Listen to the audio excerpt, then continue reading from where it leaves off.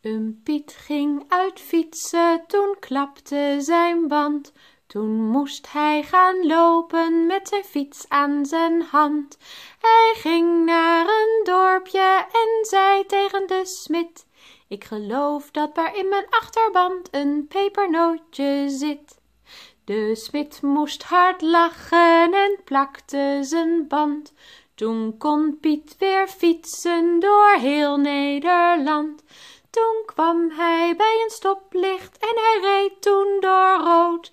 En hij moest toen betalen met één pepernoot.